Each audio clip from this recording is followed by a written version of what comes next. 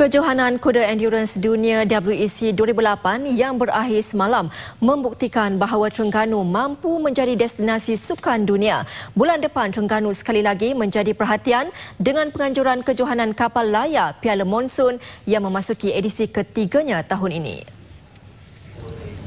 Piala Monsun Malaysia yang merupakan pusingan terakhir siri World Match Racing Tour bakal berlangsung pada 3 hingga 7 Disember depan.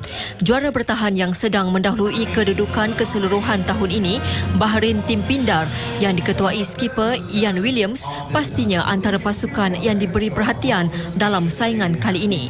Piala Monsun Malaysia tahun ini juga bakal menyaksikan persaingan sengit dua pasukan lain, K Challenge yang diketuai Sebastian Cole dan French Speed Spirit yang diketuai Matthew Richard yang mengintai peluang untuk memintas kedudukan tim Pindar.